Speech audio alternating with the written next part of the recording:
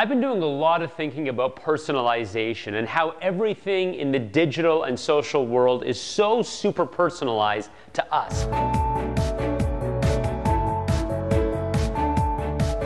Think about that experience of picking up a magazine or a newspaper, flipping through those pages, and being able to learn something new, something you never even thought you wanted to know.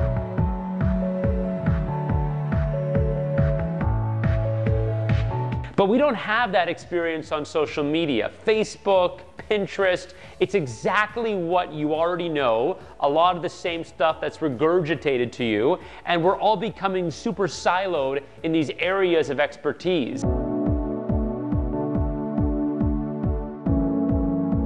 So try picking up a newspaper, picking up a magazine, learn something new. You'll be amazed at how interesting other things are.